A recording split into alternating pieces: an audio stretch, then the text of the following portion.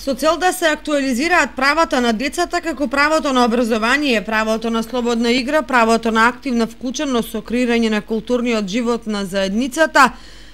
Јавната општинска установа Библиотека Искра Кочани по повод неделата на детето реализираше литературна средба на децата од големата група Клон 1 при Јавната општинска установа Детска градинка Павлина Велњанова со писателката за деца Билјана Црвенковска, која е добитник на наградата Ванчо Николевски. Јавната општинска установа Библиотека Искра од Кочани во соработка со детската градинка Павлина Вејанова од Кочани заеднички ја одбележуваме неделата на детето со цел да се афирмираат детските права, правото на образование, правото на слободна игра, правото на активно вклучување на најмладите во креирање на културниот живот на нашата заедница но пред се да ја потикнеме љубовта кон книгите и читањето уште од најмлада возраст. Особена чест ни е денешното присуство на писателката на книги за деца Билјана Црвенковска, која што е еден од најплодните и нај најреномирани автори на книги за деца во современото македонско творештво на книги за деца. Истата е добитник на наградата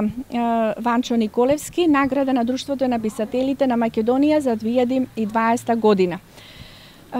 Овие активности библиотеката ги прави во соработка со градинката, водени од идејата дека детството всушност представува татко на човековата личност и водени од потребата да се спроведува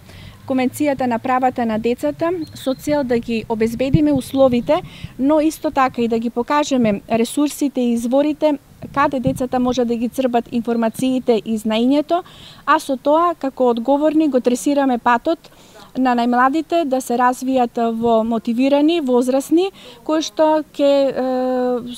бидат успешни, образовни и културни дејци за својата општина. Во одбележувањето на детската недела под мотото Јас избирам здравје, а ти, дечињето од јавната општинска установа детска градинка Гоце Делчев од Виница продефилираа низ градот со цел подигнување на свеста кај граѓаните за правата и обврските на детето. Неделата на детето се одбележува секоја година од 5 до 10 октомври со различни активности во кои се вклучени дечињата од детските градинки.